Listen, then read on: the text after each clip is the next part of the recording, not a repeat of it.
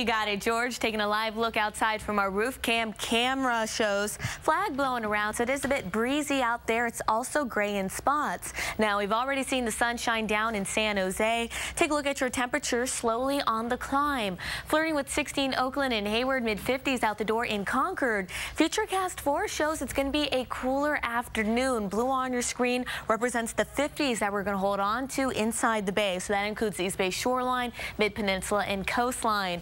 Warmer spots will start to see some 60s, 60s, and yes, perhaps low 70s fill in by your afternoon highs. So today is definitely going to be the coolest day of the week. Even though temperatures are around average, remember, we actually broke some records. We saw 90s earlier this week. Putting the clock into motion yet again, it looks like the 50s make a comeback by 8 p.m. tonight. Along with the 50s, you can expect low cloud cover and yes, some coastal fog.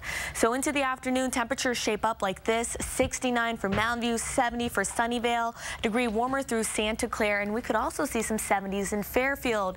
Walnut Creek could be the hot spot at 75 degrees, 63 for San Leandro, low 60s for downtown San Francisco, and low to mid 60s down our East Bay shoreline. So as we take a look at your seven day around the bay forecast, again, morning fog, afternoon sunshine, we're really going to see that pattern. Temperatures, however, will climb into the weekend. I've been pretty conservative about these numbers. I put low 80s, but we could see mid 80s, perhaps low 90s for a couple of us. Warmer weather, dry weather sticks in the forecast into the middle of next week.